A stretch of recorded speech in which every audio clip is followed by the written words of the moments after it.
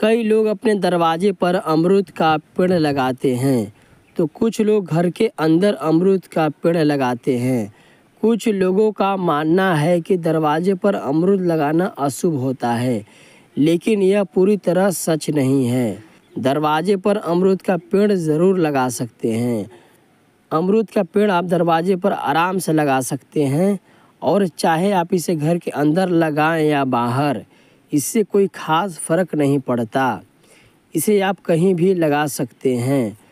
अमरूद गरीबों का फल माना जाता है और बच्चे इसे अधिकतर पसंद करते हैं। घर के आसपास अमरूद का पेड़ होना बहुत फ़ायदेमंद हो सकता है। हालाँकि घर के अंदर कभी भी केले का पेड़ नहीं लगाना चाहिए। घर में अमरूद का पेड़ लगाना बहुत शुभ माना जाता है। दोस्तों, ऐसा माना जाता है कि घर के आसपास अमरूद का पेड़ होना चाहिए। यह हमारे घर और सभी के लिए बहुत अच्छा है। घर के आसपास अमरूद का पेड़ होने से संतान प्राप्ति की संभावना बढ़ जाती है, क्योंकि बच्चों को अमरूद बहुत पसंद होता है। इसलिए घर के आसपास अमरूद के पेड़ होने से यह सुनिश्चित होता है कि आपको सुबह अमरूद देखने को मिले।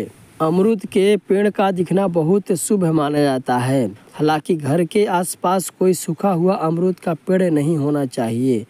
यदि अमरूद का पेड़ सूख जाए तो उसे वहाँ से तुरंत हटा देना चाहिए, क्योंकि घर के पास सूखा हुआ अमरूद का पेड़ अपशगुन होता है। पास में सूखे अमरूद के पेड़ से घर में नकारात्मक ऊर्जा का प्रभाव होता है, इसलिए सूखे पेड़ को तुरंत वहाँ से हटा देना चाहिए।